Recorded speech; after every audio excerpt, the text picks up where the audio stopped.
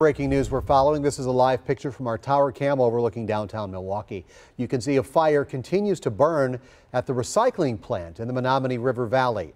The smoke, you can see it for miles. Dozens of first responders on the scene of that blaze. And so is our Miriam McCarr, and she joins us now with the very latest. Good afternoon, Miriam.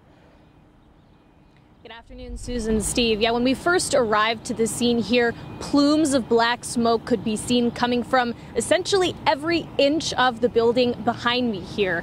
But it's calmed down now, thankfully, as you can see, but the fight to put the fire out is very much so still going.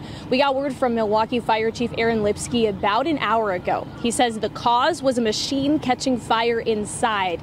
The fire seemed to have spread to other machines and areas in the building, which made the effort to put it out much more difficult. He said, thankfully, there are no injuries to anyone who is working inside or any first responders, but that's due in part to this not being their first call to this building.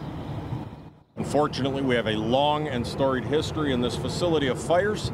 Uh, it is somewhat the nature of this sort of work uh, in, in the recycling industry, uh, but uh, thankfully uh, that has uh, trained the individuals that work here and we've worked a lot with them to get them actively evacuating anytime these sorts of things happen. The value of the recyclable, recyclable materials in there uh, doesn't even come close to the value that I place on one of my firefighters' lives.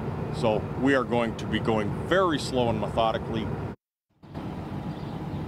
It seems the fire is mostly under control now. 75 firefighters from both Milwaukee and Wauwatosa were called to this scene this afternoon and have been working for hours to put it out. They're also testing the air for any toxins, so anyone who lives nearby is asked to close their windows if they can for the rest of the evening.